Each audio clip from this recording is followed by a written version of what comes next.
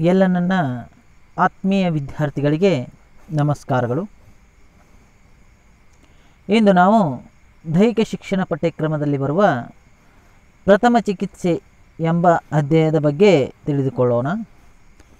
ಈ ಅಧ್ಯಾಯದಲ್ಲಿ ಪ್ರಥಮ ಚಿಕಿತ್ಸೆಯ ಪ್ರಾರಂಭ, ಪ್ರಥಮ ಚಿಕಿತ್ಸೆಯ ಉದ್ದೇಶಗಳು, ಹಾಗೂ ವಿವಿಧ ರೀತಿಯ ಪ್ರಥಮ ಚಿಕಿತ್ಸೆ ಮಾಡ್ತಕ್ಕಂಥ ಕ್ರಮಗಳ ಬಗ್ಗೆ ತಿಳಿದುಕೊಳ್ಳೋಣ.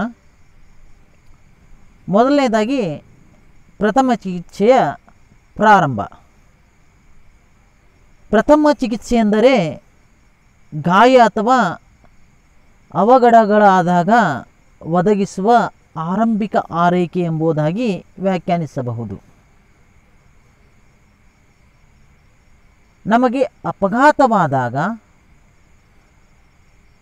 ವೈದ್ಯರ ಬಳಿ ಹೋಗುವಕ್ಕಿಂತ ಮುಂಚೆ ನಾವು ಸ್ಥಳದಲ್ಲೇ ನೀಡ್ತಕ್ಕಂಥ ಒಂದು ಚಿಕಿತ್ಸೆಗೆ ಕೂಡ ನಾವು ಪ್ರಥಮ ಚಿಕಿತ್ಸೆ ಅಂತ ಕರಿಬೋದು ಇನ್ನು ಪ್ರಥಮ ಚಿಕಿತ್ಸೆಯು ಈ ವಿಧಾನವನ್ನು ಹದಿನೆಂಟುನೂರ ಐವತ್ತೊಂಬತ್ತರಲ್ಲಿ ಆರಂಭವಾಯಿತು. ಯುದ್ಧ ಭೂಮಿಯ ಭಯಾನಕತೆಯನ್ನು ಕಂಡು ಹೆನ್ರಿ ಡುನ್ಯಾಂಟೋ ಎಂಬುವರು ರೆಡ್ ಕ್ರಾಸ್ ಸಂಸ್ಥೆಯನ್ನು ಆರಂಭಿಸಿದಾಗ ಪ್ರಥಮ ಚಿಕಿತ್ಸೆಯ ಪ್ರಕ್ರಿಯೆಯು ಸಹ ಅದರೊಂದಿಗೆ ಪ್ರಾರಂಭಗೊಂಡಿತು. ವೈದ್ಯಕೀಯ ಅರಿವಿನ ಅಭಿವೃದ್ಧಿ ಆದಂತೆಲ್ಲ ಜಗತ್ತಿನ ಅನೇಕ ಕಡೆಗಳಲ್ಲಿ ಈ ಪ್ರಥಮ ಚಿಕಿತ್ಸೆಯ ತರಬೇತಿ ದೊರಕುವಂತಾಯಿತು. ಅದಕ್ಕಾಗಿ ನಾವಿಲ್ಲಿ ಪ್ರಥಮ ಚಿಕಿತ್ಸೆಯ ಪಿತಾಮಹ ಅಂತ ಹೆನ್ರಿ ಡುನ್ಯಾಂಟೋನನ್ನು ಕರಿತೀವಿ. ಪ್ರಥಮ ಚಿಕಿತ್ಸೆಯ ಮೂರು ಪ್ರಮುಖ ಉದ್ದೇಶಗಳು. ಪ್ರಥಮ ಚಿಕಿತ್ಸೆಯನ್ನು ಯಾಕೆ ಮಾಡಬೇಕು ಅಂದ್ರೆ ಜೀವವನ್ನು ಉಳಿಸುವುದು ಮತ್ತು ಕಾಪಾಡುವುದು. ಅಪಘಾತವಾದಾಗ ಸ್ವಲ್ಪ ನೀರು ಹಾಕಿದರೆ ಜೀವ ಉಳಿತಿರ್ತೈತಿ. ಅದು ಒಂದು ಪ್ರಥಮ ಚಿಕಿತ್ಸೆನೇ, ನೀರು ಕುಡಿಸೋದು. ಅವಘಡಕ್ಕೆ ಕಾರಣವಾಗಿರುವ ಪರಿಸ್ಥಿತಿಯಿಂದ ಗಾಯ, ಗಾಯಾಳುಗಳನ್ನು ಸಂರಕ್ಷಿಸುವುದು ಅಥವಾ ದೂರವಿರಿಸುವುದು. ಆಗಿರುವ ಅವಘಡವು ತೀವ್ರವಾ, ತೀವ್ರವಾಗದಂತೆ ತಡೆಯುವುದು. ಉಪಶಮನ ಕಾರ್ಯ ಕೈಗೊಳ್ಳುವುದು. ಇದು ಸುಟ್ಟಿರ್ತಕ್ಕಂಥ ಗಾಯಗಳು. ಈ ಸುಟ್ಟಿರ್ತಕ್ಕಂಥ ಗಾಯಗಳಿಗೆ ನೀಡ್ತಕ್ಕಂಥ ಚಿಕಿತ್ಸಾ ಕ್ರಮವನ್ನು ನಾವು ತಿಳ್ಕೊಳ್ಳೋಣ.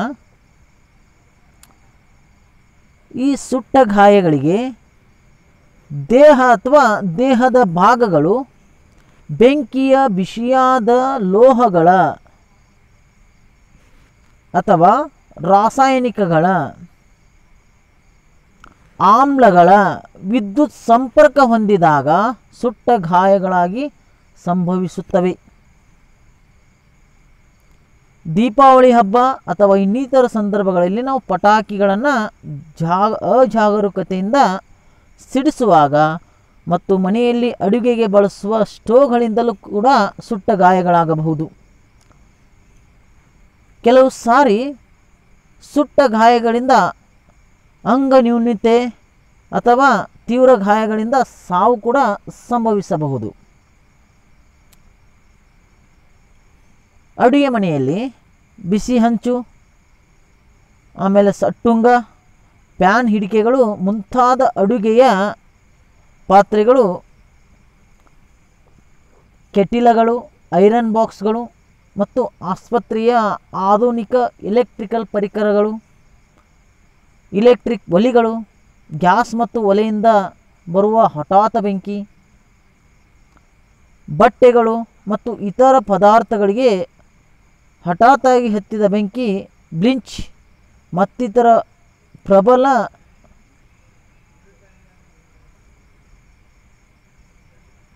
ಶಕ್ತಿನಾಶಕಗಳಾಗಿವೆ. ವಿಪರೀತ ಬಿಸಿಲು ಇವೆಲ್ಲಗಳಿಂದ ಸುಟ್ಟ ಗಾಯಗಳಾಗಬಹುದು. ಈ ಸುಟ್ಟಿರ್ತಕ್ಕಂಥ ಗಾಯಗಳಿಗೆ ನೀಡ್ತಕ್ಕಂಥ ಉಪಚಾರ ಕ್ರಮಗಳು. ಸುಟ್ಟ ಭಾಗವನ್ನು ಕಾಳಜಿಯಿಂದ ಉಪಸ ಉಪಚರಿಸಬೇಕು. ಬಟ್ಟೆಗೆ ಬೆಂಕಿ ಬಿದ್ದಾಗ ಗಾಬರಿಯಿಂದ ಓಡಾಡಬಾರದು. ವ್ಯಕ್ತಿಯನ್ನು ನೆಲದ ಮೇಲೆ ಅಂಘಾತ ಮಲಗಿಸಿ ಅತ್ತಿತ್ತ ಹೊರಲಾಡಿಸಬೇಕು. ಸನಿಹದಲ್ಲಿ ಇರುವವರು ವ್ಯಕ್ತಿಯನ್ನು ದಪ್ಪನೆ ಬಟ್ಟೆ ಅಥವಾ ಕಂಬಳಿಯಿಂದ ಸುತ್ತಿ ನೆಲದ ಮೇಲೆ ಹೊರಳಾಡಿಸಬೇಕು ಬೆಂಕಿಗೆ ತಗುಲಿದ ಬಟ್ಟೆಯನ್ನು ಜಾಗರೂಕತೆಯಿಂದ, ದೇಹದಿಂದ ಬೇರ್ಪಡಿಸಬೇಕು. ಅವು ಅಂಟಿಕೊಂಡಿದ್ದಲ್ಲಿ ಕತ್ತರಿಸಿ ತೆಗೆಯಬೇಕು. ಇನ್ನು ಗಾಯದಿಂದ ಉಂಟಾದ ಬೊಬ್ಬೆಗಳನ್ನು ಸೀಳಬಾರದು. ಅಂದರೆ ನೀರು ಗುಳ್ಳೆಯಾಗಿರ್ತಲ್ಲ ಅವನು ಸೀಳಬಾರದು. ಸಣ್ಣ ಪುಟ್ಟ ಗಾಯಗಳಾಗಿದ್ದರೆ ತಕ್ಷಣವೇ ತಣ್ಣೀರಿನಿಂದ ತೊಳೆಯಬೇಕು. ನಂತರ ಗಾಯಕ್ಕೆ ಸೋಡಿಯಂ ಬೈಕಾರ್ಬೋನೇಟ್ ದ್ರಾವಣವನ್ನು ನಯವಾಗಿ ಲೇಪಿಸಬೇಕು. ಗಾಯಗಳಿಗೆ ಮಲಾಮಣ್ಣು ನವಿರಾಗಿ ಗಾಯ ಮಾಸುವವರೆಗೆ ಹಚ್ಚಬೇಕು. ಅಪಘಾತಕ್ಕೆ ಒಳಗಾದ ವ್ಯಕ್ತಿಯು ನಿಶಕ್ತನಾಗಿದ್ದರೆ ಬಿಸಿ ಪಾನೀಯಗಳನ್ನು ನೀಡಬೇಕು. ಇನ್ನು ನಮ್ಮ ಶಾಲೆಯಲ್ಲಿ ಪ್ರತಿನಿತ್ಯ ಬೇಸಿಗೆ ಕಾಲದಲ್ಲಿ ಸಂಭವಿಸಬೇಕಾಗಿರ್ತಕ್ಕಂಥ ಒಂದು ಅಪಘಾತ ಯಾವುದಂದರೆ ಪ್ರಜ್ಞೆ ತಪ್ಪುವುದು. ಮೂರ್ಛೆ ಹೋಗುವುದು. ನಮ್ಮ ಇದಕ್ಕೆ ಕಾರಣ ಏನಂದ್ರೆ, ನಮ್ಮ ಶರೀರವು ಪ್ರಜ್ಞಾಶಕ್ತಿಯನ್ನು ಕಳೆದುಕೊಂಡಾಗ ನಾವು ಪ್ರಜ್ಞೆಯನ್ನು ತಪ್ತೀವಿ. ಪ್ರಜ್ಞಾಶಕ್ತಿ ಅಂದ್ರೆ ನಮ್ಮ ದೊಡ್ಡ ಮೆದುಳು ತನ್ನ ಕಾರ್ಯವನ್ನು ನಿಲ್ಲಿಸಿದಾಗ ನಮ್ಮ ತಲೆಯಲ್ಲಿರ್ತಕ್ಕಂಥ ನಮ್ಮ ದೊಡ್ಡ ಮೆದುಳು ತನ್ನ ಕಾರ್ಯವನ್ನು ನಿಲ್ಲಿಸಿದಾಗ ಉಂಟಾಗುವ ಸ್ಥಿತಿಗೆ ನಾವೇನಂತ ಕರಿತೀವಿ ಅಂದ್ರೆ ಪ್ರಜ್ಞೆ ತಪ್ಪೋದು ನಮ್ಮ ದೊಡ್ಡ ಮೆದುಳಿನ ಕಾರ್ಯ ನಿಂತ್ಕೋತೆ ಅಂದ್ರೆ ನಾವು ಪ್ರಜ್ಞೆಯನ್ನು ತಪ್ತೀವು. ವ್ಯಕ್ತಿಯು ಪ್ರಜ್ಞೆ ತಪ್ಪಿದಾಗ ನಿದ್ರೆಯಲ್ಲಿರುವಂತೆ ಗೋಚರಿಸಿದರೂ ಸಹ ದೇಹವು ಯಾವುದೇ ರೀತಿಯ ಚಲನೆಯನ್ನು ತೋರ್ಪಡಿಸುವುದಿಲ್ಲ. ಎಚ್ಚರ ತಪ್ಪುವ ಮೊದಲು ಆ ವ್ಯಕ್ತಿಯು ಈ ಕೆಳಗಿನ ತೊಂದರೆಯ ಬಗ್ಗೆ ದೂರಬಹುದು. ತಲೆ ಹಗುರವಾಗ, ಹಗುರಾದಂತೆ ಅನಿಸುವುದು. ನಿಶಕ್ತಿ, ಅವನಲ್ಲಿ ತಲೆಯನ್ನು ತಲೆ ಸುತ್ತುವುದು. ಇದು ನಮ್ಮ ಮೆದುಳಿನಲ್ಲಿರ್ತಕ್ಕಂಥ ಕಾರ್ಯ. ಈ ಕಾರ್ಯ ಸ್ಥಗಿತಗೊಂಡಾಗ, ನಮ್ಮ ದೊಡ್ಡ ಮೆದುಳಿನ ಕಾರ್ಯ ಸ್ಥಗಿತಗೊಂಡಾಗ ನಾವೇನು ಮಾಡ್ತೀವಿ ಅಂದ್ರೆ ಮೂರ್ಛೆಯನ್ನು ಹೋಗ್ತೀವಿ. ಇನ್ನು ಈ ಮೂರ್ಛೆ ಹೋಗೋಕ್ಕೆ ಕಾರಣಗಳು ವ್ಯಕ್ತಿ ವಿಷಪ್ರಾಶನ ಅಂದ್ರೆ ವಿಷವನ್ನು ಹಾಕಿರ್ತಾರೋ. ಆಮೇಲೆ ನಾವು ಅತಿಯಾಗಿರ್ತಕ್ಕಂಥ ಮದ್ಯಪಾನ ಸರಾಯನ್ನು ಕುಡಿದಾಗ ನಾವು ಪ್ರಜ್ಞೆ ತಪ್ತೀವಿ. ಆಮೇಲೆ ನಮ್ಮ ತಲೆಗೆ ತೀವ್ರವಾಗಿ ಹೊಡೆದಾಗ ನಾವೇನು ಮಾಡ್ತೀವಿ ಅಂದ್ರೆ ಆಕ್ಸಿಡೆಂಟ್ ಆದಾಗ ಅಥವಾ ಯಾರೋ ಒಬ್ಬರು ತಲೆಗೆ ಜೋರಾಗಿ ಹೊಡೆದಾಗ ನಾವು ಪ್ರಜ್ಞೆಯನ್ನು ತಪ್ಬೋದು. ಆಮೇಲೆ ಮಾರಣಾಂತಿಕವಾಗಿ ಯಾರಾದರೂ ಬರ್ಚೆಯಿಂದ ಲಾಡ್ದಿಂತ ರಾಡ್ದಿಂತ ಏನಾದರೂ ಬಡಿಗೆಯಿಂದ ಬಡದ್ರಂದ್ರೆ ಅವಾಗ ನಾವು ಕೂಡ ಗಾಯವಾಗಿ ಪ್ರಜ್ಞೆಯನ್ನು ತಪ್ಬೋದು.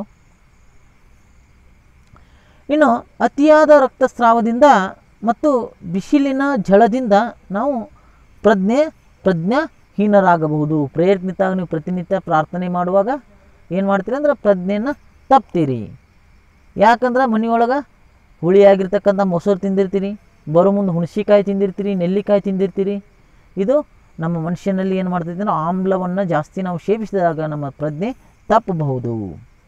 ಕೆಲವು ಸಾರಿ ಮೂರ್ಛೆ ರೋಗದಿಂದಲೂ ನಾವು ಪ್ರಜ್ಞಾಹೀನರಾಗಬಹುದು. ಕೆಲವೊಂದು ಸಾರಿ ಅದು ಹುಟ್ಟಿನಿಂದನ ಮೂರ್ಛೆ ರೋಗ ಅಂತಕ್ಕಂಥ ರೋಗ ಬಂದಿರ್ತದೆ. ಇನ್ನು ಈ ಪ್ರಜ್ಞೆ ತಪ್ಪುವುದರ ಬಗ್ಗೆ ಲಕ್ಷಣಗಳು. ಈ ಕಾರಣಕ್ಕೆ ಅನುಸಾರವಾಗಿ ಮುಖ ಏನಾಗ್ತೈತೆ ಅಂದ್ರೆ ಕೆಲವೊಂದು ಸಾರಿ ಕೆಂಪಾಗ್ತೈತೆ. ಬಿದ್ದು ಭಾಳ ಬಿಸಿಲಾಗಿ ಅಂದ್ರೆ ಮೂರ್ಛೆ ಹೋಗಿ ಬಿದ್ದಂದ್ರೆ ಮುಖ ಕೆಂಪಾಗ್ತೈತಿ. ಆಮೇಲೆ ಬಿಳಿಚಿಕೊಳ್ಳುವುದು, ಅಲ್ಲಿ ಏನಾಗ್ತೈತೆ ಅಂದ್ರೆ ಬೇರೆ ಬಣ್ಣವನ್ನು ಮುಖ ಕೆಂಪಾಗಿ ಅಲ್ಲಿ ಶೈನಿಂಗ್ ಬರ್ತೈತಿ. ಅಥವಾ ನೀಲಿ ಬಣ್ಣಕ್ಕೆ ಏನಾಗ್ತೈತೆ ಅಂದ್ರೆ ಅದು ತಿರುಗ್ತೈತೆ. ನಮ್ಮ ಉಸಿರಾಟ ಕ್ರಿಯೆಯಲ್ಲಿ ಏನಾಗ್ತೈತೆ ಅಂದ್ರೆ ವ್ಯತ್ಯಾಸ ಆಗ್ತೈತಿ. ಒಂದೊಂದು ಸರಿ ಉಸಿರಾಟನ ನಿಂದಿರೋದಿಲ್ಲ ಅವಾಗ ಏನು ಮಾಡ್ಬೇಕಂದ್ರೆ ಕೃತವಾಗಿರ್ತಕ್ಕಂಥ ಉಸಿರಾಟವನ್ನು ನಾವು ಗಾಳಿ ಮೂಲಕ ನೀಡಬೇಕು. ಆಮೇಲೆ ನಮ್ಮ ನಾಡಿ ಮಿಡಿತಗಳು ಏನಾಗ್ತೈತಿ ಅಂದ್ರೆ ಅಲ್ಲಿ ವ್ಯತ್ಯಾಸ ಕೂಡ ಆಗ್ತೈತಿ. ಹಾಗಾದ್ರೆ ಈ ಪ್ರಜ್ಞಾ ತಪ್ಪುವುದಕ್ಕೆ, ಪ್ರಜ್ಞೆ ತಪ್ಪುವುದಕ್ಕೆ ಮಾಡ್ತಕ್ಕಂಥ ಉಪಚಾರ ಕ್ರಮಗಳೇನ? ನಾವು ವೈದ್ಯರನ್ನು ಶೀಘ್ರವಾಗಿ ಏನು ಮಾಡ್ಬೇಕಂದ್ರೆ ನಾವು ಹೋಗಿ ಉಪಚಾರವನ್ನು ಮಾಡಿಕೊಳ್ಬೇಕು. ಮೂರ್ಛೆ ಹೋದ ವ್ಯಕ್ತಿಯನ್ನು ಅಂಗಾತ ಮಲಗಿಸಬೇಕು. ನಾವು ಹಲವಾರು ಸಾರಿನ ಹಿಂಗೆ ಮೂರ್ಛೆ ಹೋಗಾಕ್ತೀವಿ ಅಂದ್ರೆ ನಾವು ವೈದ್ಯರಂತಿಕ ಹೋಗಬೇಕು. ಅಥವಾ ಮೂರ್ಛೆ ಹೋದಂಥ ವ್ಯಕ್ತಿಯನ್ನು ಏನು ಮಾಡಬೇಕಂದ್ರೆ ಅಂಗಾತ ಮಲಗಿಸಬೇಕು. ಮುಖವು ಕೆಂಪಾಗಿದ್ದರೆ ವ್ಯಕ್ತಿಯನ್ನು ಏನು ಮಾಡಬೇಕಂದ್ರೆ ವ್ಯಕ್ತಿಯ ತಲೆಯನ್ನು ಏನು ಮಾಡಬೇಕಂದ್ರೆ ಎತ್ತಿ ಹಿಡಿಬೇಕು. ಭಾಳ ಮುಖ ಕೆಂಪಾಗಿತ್ತಂದ್ರೆ ಅವನನ್ನು ಮುಖವನ್ನು ಎತ್ತಿ ಹಿಡಿಬೇಕು. ಆಮೇಲೆ ವ್ಯಕ್ತಿ ವಾಂತಿ ಮಾಡುತ್ತಿದ್ದರೆ ತಲೆಯನ್ನು ಪಕ್ಕಕ್ಕೆ ಬಾಗಿಸಬೇಕು. ಮುಂದಕ್ಕೆ ಮಾಗಿಸಬಾರ್ದು. ಹೊಟ್ಟೆ ನೋವಾಗ್ತೈತಿ. ಅದಕ್ಕೆ ಬಾಜುದಿಂತ ಆತನನ್ನು ಏನು ಮಾಡ್ಬೇಕಂದ್ರೆ ವಾಂತಿ ಮಾಡಿಸ್ಬೇಕು.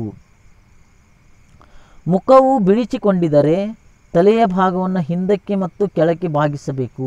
ನೀಲಿ ಬಣ್ಣಕ್ಕೆ ತಿರುಗಿದ್ರೆ ಮುಖವನ್ನು ಹಿಂದಕ್ಕೆ ಮತ್ತು ಕೆಳಕ್ಕೆ ಬಾಗಿಸಬೇಕು. ಅಂಗೈ ಮತ್ತು ಪಾದಗಳನ್ನು ಕೈಗಳಿಂದ ಉಜ್ಜಿ ಶಾಖವನ್ನು ಏನು ಮಾಡ್ಬೇಕಂದ್ರೆ ನೀಡಬೇಕು. ಮುಖವು ನೀಲಿ ಬಣ್ಣಕ್ಕೆ ತಿರುಗಿದರೆ ನಾವು ಕೃತಕವಾಗಿರ್ತಕ್ಕಂಥ ಉಸಿರಾಟವನ್ನು ನೀಡಬೇಕು. ಮುಖ ನೀಲಿ ಬಣ್ಣಕ್ಕೆ ತಿರುಗಿದ್ರೆ ಕೃತಕವಾಗಿರ್ತಕ್ಕಂಥ ಗಾಳಿ ಮೂಲಕ ಉಸಿರ, ನಾವು ಉಸಿರನ್ನು ನೀಡಬೇಕು. ರೋಗಿಗೆ ಶುದ್ಧ ಗಾಳಿ ದೊರೆಯುವಂತೆ ನಾವು ನೋಡ್ಕೊಳ್ಬೇಕು. ಗಾಳಿಯಾಗಿ ನಿಂದಿರಬಾರ್ದು, ಆತನಿಗೆ ಗಾಳಿ ಬರುವಂಗೆ ನೋಡ್ಕೊಳ್ಬೇಕು. ಇನ್ನು ಶರೀರದ ಬಿಗಿಯಾದ ಬಟ್ಟೆಯನ್ನು ಏನು ಮಾಡಬೇಕಂದ್ರೆ ನಾವು ಸಡಿಲಗೊಳಿಸ್ಬೇಕು. ಶೂ ಹಾಕ್ಕೊಂಡಿದ್ದಿರ್ತೀವಿ ಶೂ ತೆಗಿಸ್ಬೇಕು. ಸಾಕ್ಸ್ ತೆಗಿಸ್ಬೇಕು. ತೆಗೆದ ನಾವೇನು ಮಾಡಬೇಕಂದ್ರೆ ಆತನಿಗೆ ಆರೈಕೆ ಮಾಡಬೇಕು. ಕೆಲವು ಸಾರಿ ಶಾಲಾ ಮಕ್ಕಳು ಹಸುವಿನಿಂದಾಗಲಿ ದನಿವಿನಿಂದಾಗಲಿ ಮೂರ್ಛೆ ಹೋಗುವ ಸಂಭವವಿದ್ದು ಅಂತಹ ಸಮಯದಲ್ಲಿ ಅಪಘಾತಕ್ಕೆ ಒಳಗಾದ ಮಗುವನ್ನು ಅಂಘಾತ ಮಲಗಿಸಿ, ಕಾಲುಗಳನ್ನು ಸ್ವಲ್ಪ ಮೇಲಕ್ಕೆ, ಮೇಲಕ್ಕೆತ್ತಿ ತಲೆಯನ್ನು ಹಿಂಭಾಗಕ್ಕೆ ಸ್ವಲ್ಪ ಭಾಗಿಸಿ, ಹೃದಯಕ್ಕೆ ರಕ್ತ ಚಲಿಸುವಂತೆ ಮಾಡಬೇಕು. ಹೀಗೆ ಪುನಶ್ಚೇತನಗೊಳಿಸುವುದರಿಂದ ಗೊಳಿಸುವುದರಿಂದ ನಿಧಾನವಾದರೆ ಅವನಿಗೆ ಬೆಚ್ಚಗಿನ ಕಂಬಳಿಯನ್ನು ಹೊದಿಸಿ ಹತ್ತಿರದ ಆಸ್ಪತ್ರೆಗೆ ಏನು ಮಾಡಬೇಕಂದ್ರೆ ನಾವು ಸಾಗಿಸಬೇಕು. ಇನ್ನು ಮುಂದೆ ಮುಂದಿನ ಅವಧಿಯಲ್ಲಿ ವಿಷ ಸೇವಿಸಿದಾಗ ಮಾಡ್ತಕ್ಕಂಥ ಉಪಚಾರ ಕ್ರಮಗಳ ಬಗ್ಗೆ ತಿಳಿದುಕೊಳ್ಳೋಣ. ಇಲ್ಲಿಯವರೆಗೆ ಪಾಠ ವೀಕ್ಷಣೆ ಮಾಡಿರ್ತಕ್ಕಂಥ ನನ್ನೆಲ್ಲ ಆತ್ಮೀಯ ವಿದ್ಯಾರ್ಥಿಗಳಿಗೆ ಧನ್ಯವಾದಗಳು.